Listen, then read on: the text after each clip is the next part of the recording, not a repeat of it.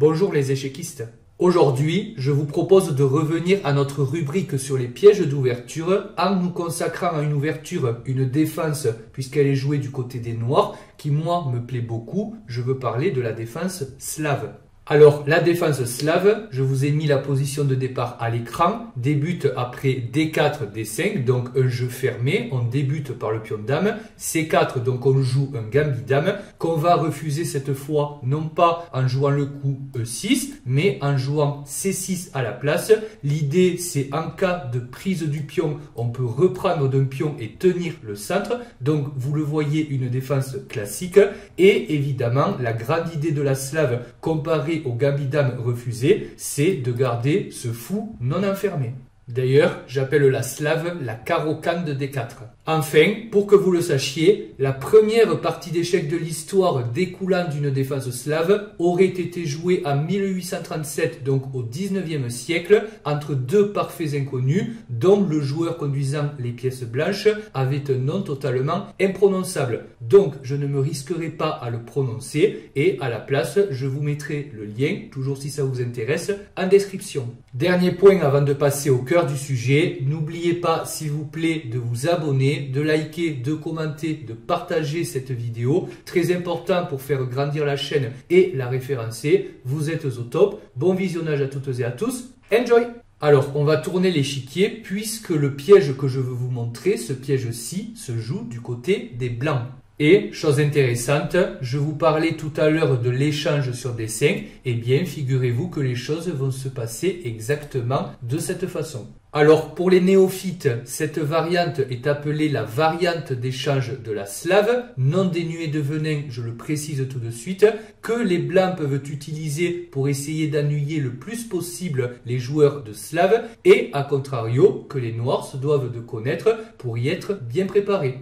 L'avantage pour les blancs, c'est d'avoir résolu la tension au centre, c'est-à-dire de ne plus avoir à craindre les déprens C4 récurrents dans la défense slave pour les noirs. Et pour les noirs, c'est d'avoir maintenant obtenu la case C6 pour le cavalier. D'ailleurs, les deux joueurs vont profiter de ce que les pions ont disparu de la colonne C pour développer leur cavalier sur leur case naturelle. Maintenant, les blancs vont jouer fou F4, donc un peu dans le style du système de Londres. Vous voyez que le setup, le placement des pièces est très ressemblant. Cavalier F6 de la part des noirs, E3 pour sortir le fou de case blanche et continuer le développement. Alors on peut le sortir sur D3, parfois sur E2, parfois sur B5 pour le clouage. E6 de la part des noirs. Alors les noirs ne vont pas tout de suite sortir leur fou de case blanche, puisque souvent dans la slave, la rançon du succès de ce fou, si j'ose m'exprimer ainsi, c'est que la dame peut venir sur B3 et venir target le pion B7. Donc souvent, les noirs vont attendre avant de sortir ce fou, et ici, on voit qu'ils ont joué E6, plutôt pour faire parler leur fou de case noire et espérer roquer rapidement. Fou D3 va être joué par les blancs, et maintenant, les noirs vont jouer un mauvais coup.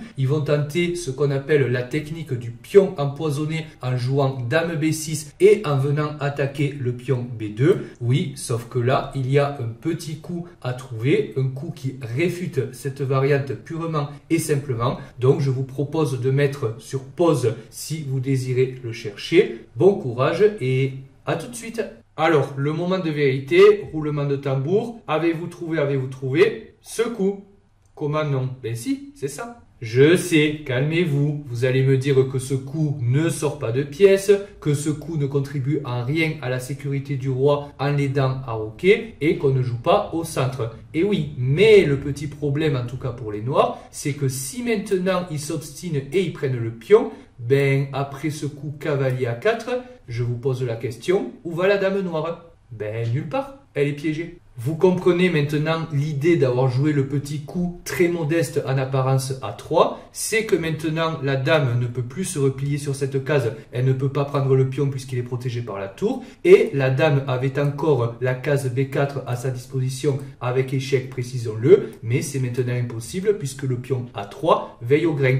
La dame noire est donc complètement enfermée et perdue. Avant de boucler cette vidéo, je voudrais préciser quelque chose qui me paraît important, à savoir que la variante dite du pion empoisonné, que d'ailleurs on ne retrouve pas seulement dans la défense slave, mais dans tout un tas d'ouvertures, n'est pas mauvaise du tout, à condition évidemment de bien calculer ou de bien connaître la théorie et de s'assurer, si vous vous lancez dans ce genre de pratique, à savoir développer la dame rapidement pour aller taper le pion B adverse non défendu, il faut vous assurer évidemment la dame peut ressortir. Mais par exemple, dans la sicilienne Najdorf, très populaire d'ailleurs au plus haut niveau, c'est l'une des variantes principales de cette grande et riche ouverture, donc vous pouvez y aller sans crainte. Assurez-vous simplement de bien connaître la théorie et que votre dame peut ressortir.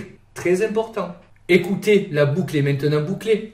Donc moi, je vais vous souhaiter à toutes et à tous une excellente soirée, portez-vous bien et je vous le demande encore une fois, likez, commentez, partagez cette vidéo, très important pour faire croître cette chaîne. En outre, n'oubliez pas évidemment de vous abonner, très important, je compte sur vous, vous êtes au top. Encore une fois, portez-vous bien et moi je vous dis à très bientôt pour un nouveau piège échiquier dans la défense slave. Ciao